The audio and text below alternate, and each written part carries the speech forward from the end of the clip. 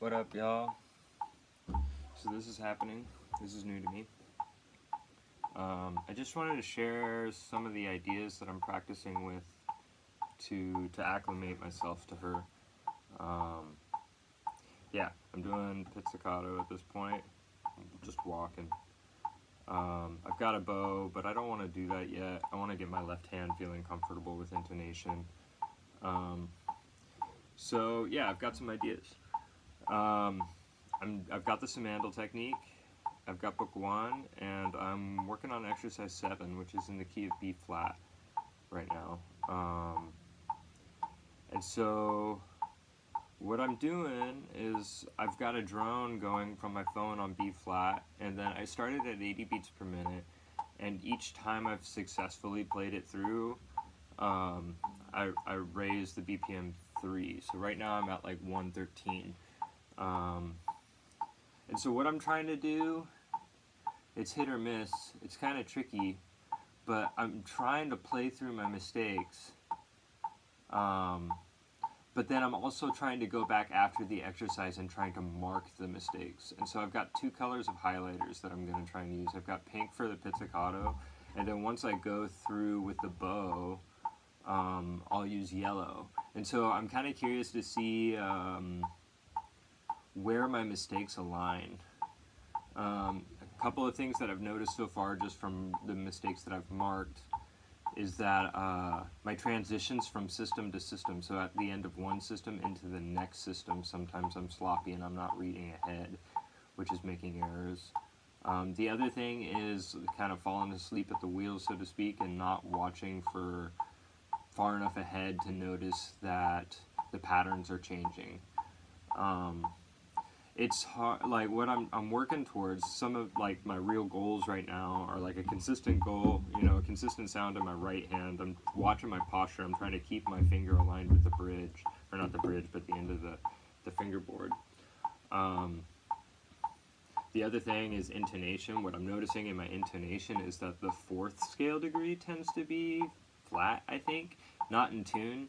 Um, which is just interesting because like here we've got one two three four like it should be fairly intuitive but that seems to be the pitch that i'm noticing i'm out on the most.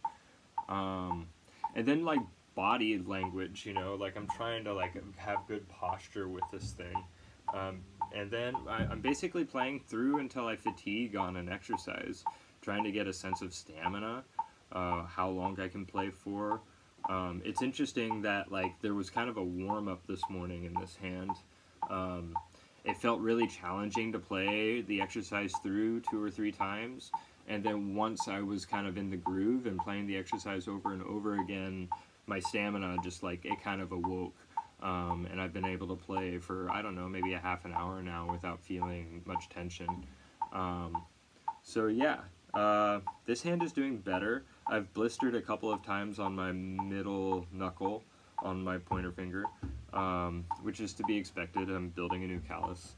Um, but yeah, this is kind of what I'm doing. Oh, I guess the other thing I should say is that the half, that those are half notes. The click is a half note, and I'm trying to place it on two and four. Um, because I feel like I'm less strong with those points of reference in time. So it'd be 2, 3, 4, 1, 2,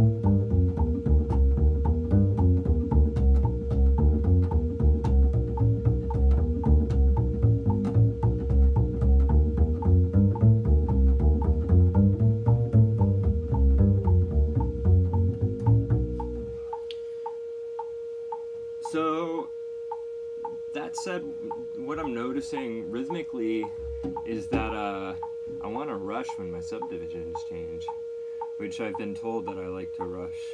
Um, but it's just interesting that that's when I like to rush, is when I'm moving between half notes and quarter notes.